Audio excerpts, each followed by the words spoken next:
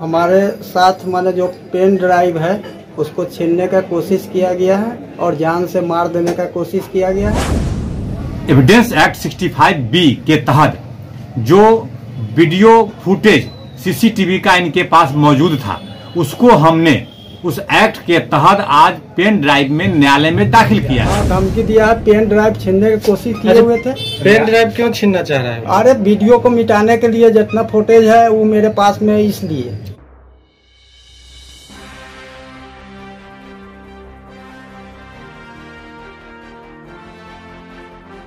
आज संतोष कुमार, जो कि कुशवाहा जाति से आते हैं, उनके द्वारा मीनापुर थाना प्रभारी राजेश बैठा समेत चौदह के खिलाफ जो धर्मांतरण और धार्मिक भावना को ठेस पहुँचाने के आरोप में जो मुकदमा दर्ज किया गया था, उसमें आज सुनवाई थी।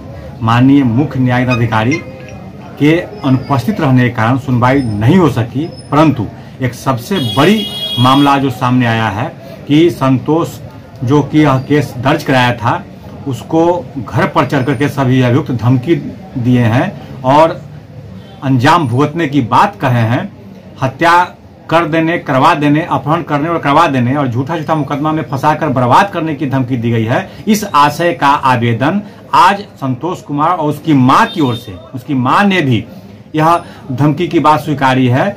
आज न्यायालय में आवेदन दाखिल किया गया है और न्यायालय से आग्रह किया गया है कि इनकी सुरक्षा की जाए, क्योंकि जिस तरह से सभी अभियुक्त जो इस केस के अभियुक्त बनाए गए हैं और धमकी दे रहे हैं, दबाव दे रहे हैं केस उठाने के लिए, कभी भी किसी भी प्रकार का कोई भी अनहोनी घटना, परिवादी संतोष कुमार कुशवाहा के खिलाफ लोग कर सकते हैं, घटना को अंजाम दे सकते हैं।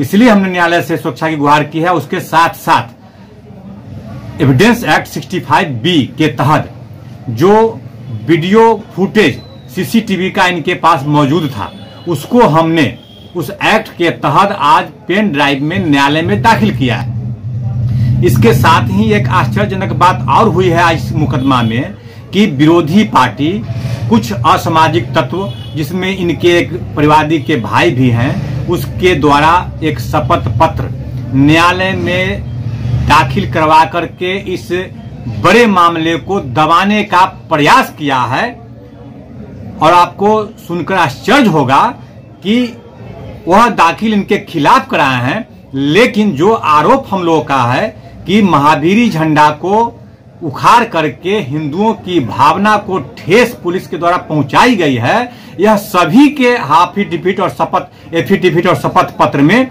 यह आपको मिलेगा। कि उन लोगों ने अपने एफिडेविट में इस बात को स्वीकार किया है कि पुलिस के द्वारा महावीरी झंडा को उखाड़ा गया है। और इस मामले में एक नया मोड़ आ गया है।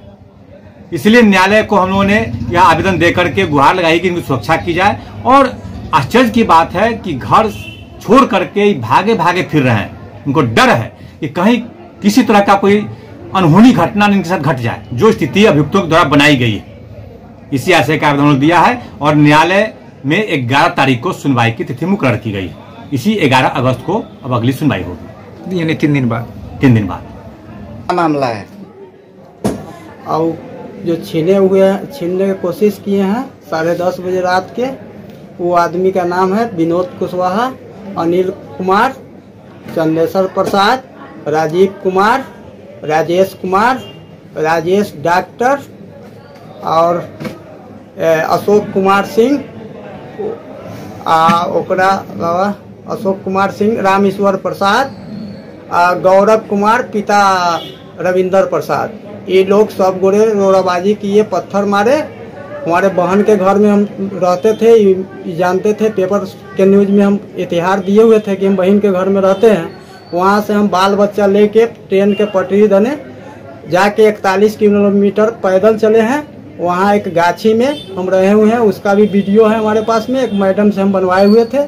वो पूछी हुई थी तो पूरा हमारे पास में वो भी प्रूफ है। धमकी दिया है। उन लोग को भी नामजद किए हुए हाँ, नहीं नामजद नहीं किए हुए हैं लेकिन उनके द्वारा छीना छीन जो झपट के काम किए हुए हैं वो लोग। जो हम जंगल में भटक रहे हैं इधर उधर।